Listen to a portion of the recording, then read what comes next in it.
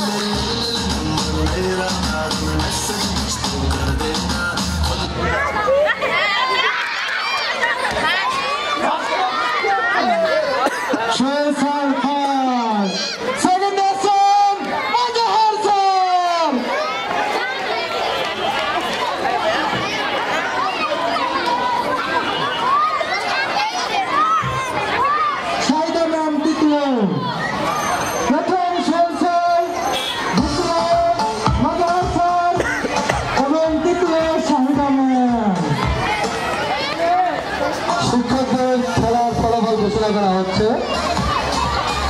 তৃতীয় স্থান অর্জন করেছে শাহিদা আক্তার। দ্বিতীয় স্থান অধিকার করেছে মাজহারুল ইসলাম। এবং তৃতীয় স্থান অধিকার করেছে তুফাজ্জল হোসেন সোহেল স্যার।